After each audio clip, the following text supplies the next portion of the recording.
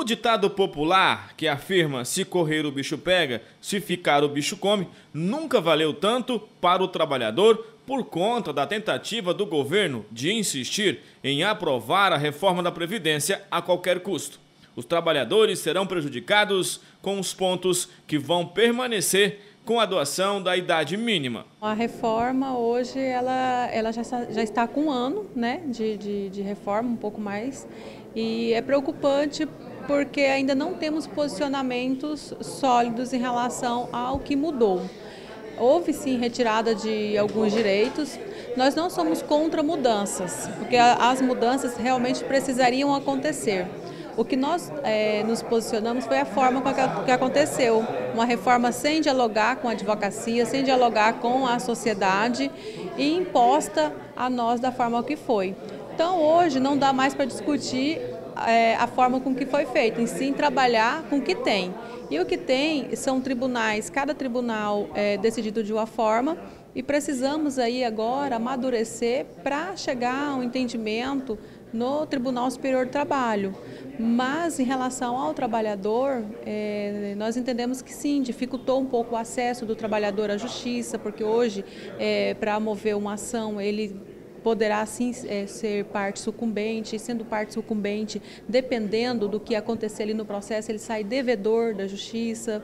A questão também da perícia, hoje, se ele fizer uma perícia e ele perder essa perícia, ele terá que arcar com os ônus dos honorários periciais. Então há uma série de dificuldades que impede que o trabalhador acesse a justiça. De acordo com a presidente da Associação Rondoniense da Advocacia Trabalhista, será retiradas das propostas as mudanças na fórmula de cálculo, a proibição de acúmulo de pensão e aposentadoria, o fim do pagamento de benefício a idosos de baixa renda, as cotas da pensão por morte e alteração da aposentadoria do trabalhador rural. Enfim, muitos direitos serão cortados. A nossa CLT, ela foi assim totalmente modificada.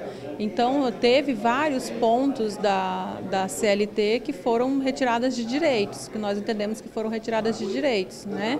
Agora, a, o advogado, advogado, o papel do advogado, da advogada é enfrentar isso, criar teses e assim estamos fazendo, criando algumas teses para que chegue ao judiciário e, consequentemente, é, é, consolide um entendimento majoritário. E isso nós não temos ainda, mas a CLT em si, ela foi assim significativamente modificada, então vários direitos foram sim retirados. De acordo com o ministro da Economia, Paulo Guedes, a reforma da Previdência a ser apresentada pelo governo Jair Bolsonaro ao Congresso pretende economizar um trilhão em 10 anos. Passados-se aí esses longos meses de pós-reformas, nós não conseguimos ainda visualizar nenhuma economia.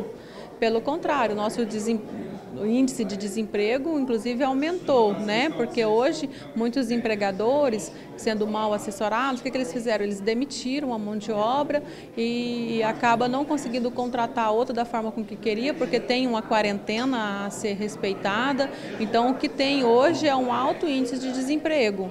Nós, passado esses longos meses, não conseguimos ainda, é, com as pesquisas, dizer que houve essa economia. Então, por, por enquanto, ainda não temos.